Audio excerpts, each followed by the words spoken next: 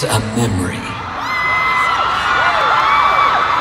Is it a mental photograph of that which only the senses can capture? Is it a moment in time made just for you and you alone?